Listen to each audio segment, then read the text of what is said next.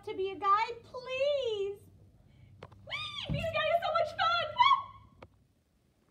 Woo! Well, what else you gonna do on a Sunday or Wednesday? It's an hour and a half.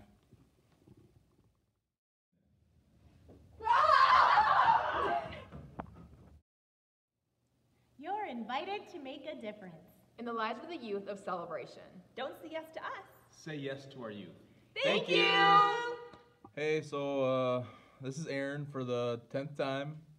I don't know if you got my messages. Just want to call and ask about uh, the fall. It's coming up. Need some guides.